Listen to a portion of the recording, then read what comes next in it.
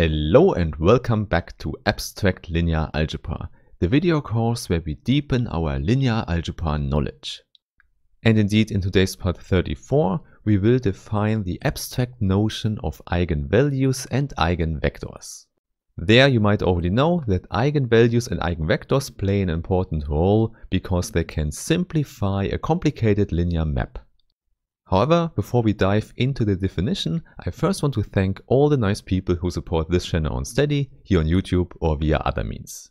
And please don't forget, by using the link in the description, you can download additional material like PDF versions, books and quizzes. In fact, I would say it's really helpful for learning if you have the written version of the video next to you. Very well, then let's immediately start with a picture of an eigenvector. So let's say this is a vector x in our vector space and now a linear map L acts on it. And there what we need is that the linear map L maps the vector space V into itself again. Because then under this assumption it could happen that x is mapped to itself. Or more generally, we get a vector out that goes into the same direction as x. This means the image Lx lies in the span of x. This implies that the linear map is really simple for this given vector because it's just scaling and nothing more. So you see, this is exactly the same idea as we have already discussed it for matrices in the linear algebra course. Therefore, I think we don't need more motivation here and we can immediately go to the definition. Hence, let's fix our general f vector space V and a general linear map we call L. Now important to note is that everything in the definition here will work for finite dimensional vector spaces, but also for infinite dimensional spaces. This is simply because we don't need any matrix representation to define eigenvectors and eigenvalues. However, still as always, if we have a matrix representation, it can definitely help for calculations. Okay, now the first thing you should remember is that an eigenvector can never be the zero vector in the vector space. This totally makes sense because the zero vector is always mapped to the zero vector again, so it always lies in the span of the zero vector. So it's not a special property for the zero vector, so we have to exclude it. However, for any other vector in V, it's quite surprising that the linear map is just given by scaling. Hence, it means that we can find a scalar lambda in our field f. And this one should satisfy that the image Lx is given as lambda times x. So this is the standard equation for eigenvectors and eigenvalues, where lambda is called the corresponding eigenvalue. To be precise, we could say this is the eigenvalue of the linear map L associated to the eigenvector x. And here it's always important to point out that there is no restriction for the eigenvalue in the field. Any number in the field can be an eigenvalue of the linear map L, including 0. However, as you might already know, for an n-dimensional vector space, we will find at most n different eigenvalues. And indeed, this finite dimensional case is the one we often deal in linear algebra with but I think it's already good to know that this is the general definition for any vector space and any linear map. In all cases, we can just work with this important equation and bring lambda times x to the left hand side.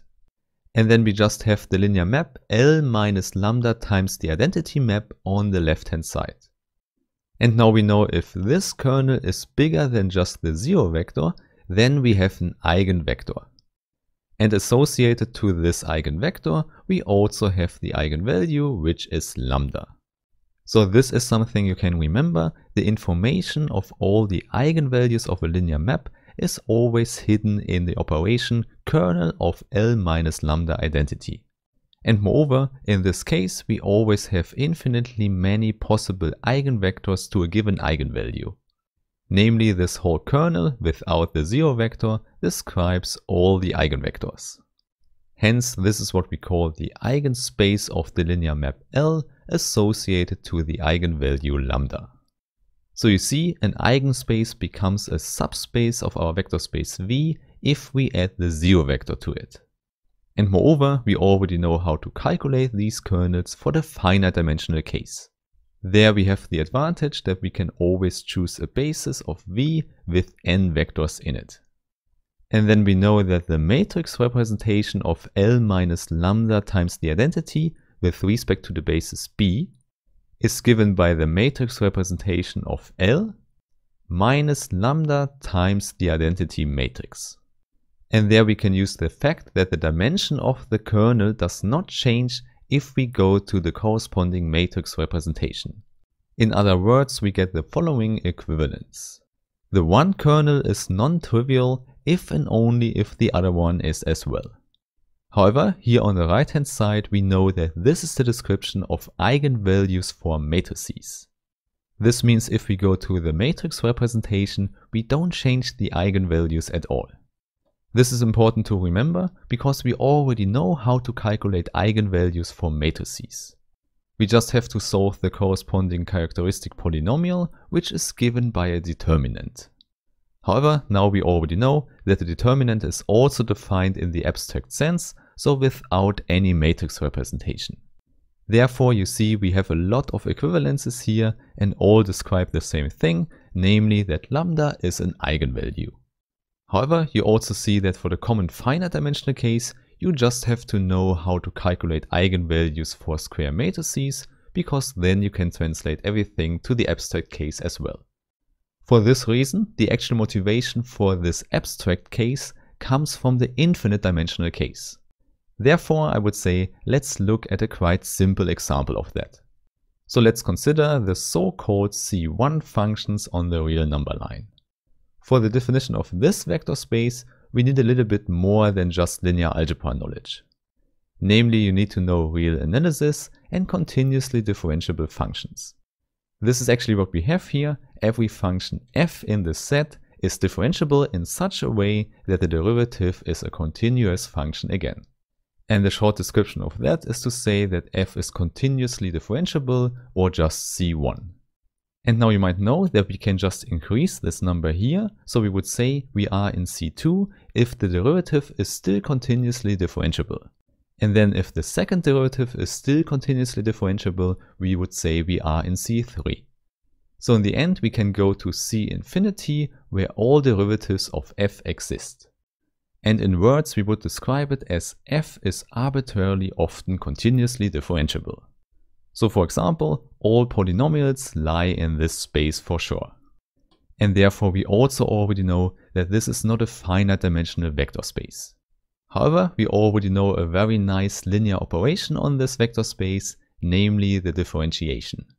This means we take such a function f and send it to its derivative. This is a nice general linear map and we already use that a lot while calculating with polynomials. However, if we have more than polynomials, we immediately find an eigenvector and an eigenvalue for this linear map. Indeed, you might know that the exponential function is its own derivative. So here you just have to know that the exponential function sends x to e to the power x.